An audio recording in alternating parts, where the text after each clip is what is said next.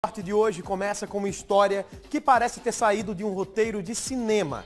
Um jogador com passagens por alguns dos maiores clubes brasileiros, com vários títulos no currículo, incluindo uma Copa da UEFA, realiza o sonho de jogar em Natal, sendo contratado pelo Força e Luz. Mas o histórico desse atleta simplesmente não existe. Muito da carreira dele é, na verdade, conquista de outro jogador. Esse é Denis Vieri. Um jogador que diz ter passagens por gigantes como Vasco, Santos e Shakhtar. Agora no modesto Força e Luz. O que me motiva a, vir para cá é querer provar para mim mesmo que eu ainda tenho condições de jogar em alto nível, né? Então Força e Luz ele vai servir para agregar. Eu vim aqui para somar com os diretos que estão aí. Este é Denis Vieri, mineiro de 34 anos, um atleta com um currículo vitorioso. Eu profissionalizei no Paraná Clube em 2001, a gente foi campeão paranaense em 2001, né, e de lá fui emprestado para o Vasco, né, a gente foi campeão é, carioca em 2003, voltei para o Ipatinga né, em 2005, a gente foi campeão mineiro em 2005, e do Ipatinga eu fui para o Santos, né? De lá eu fui Shakhtar Donetsk, a gente ganhou a Copa da UEFA, que hoje é a atual Europa League.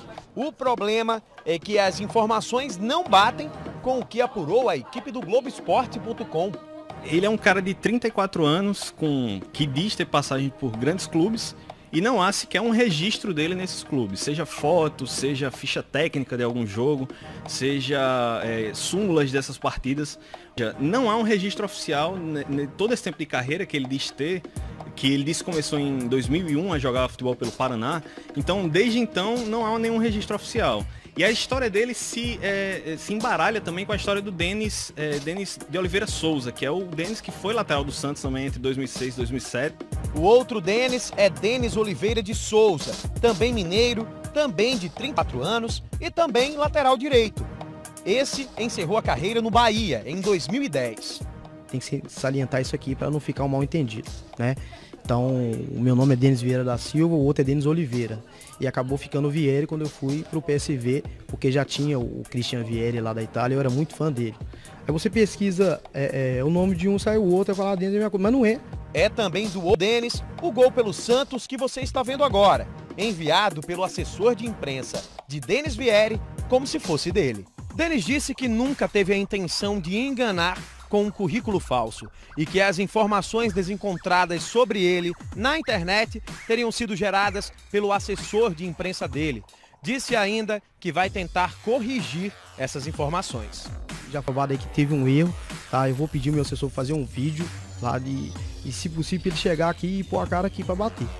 Tem coisas aí que estão sendo desencontradas com outra pessoa, com outro nome.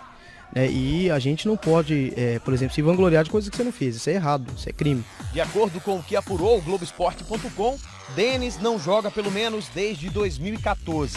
No site é possível encontrar imagens sobre as passagens de Denis Vieri por clubes do Pará e de Minas Gerais, os últimos registrados.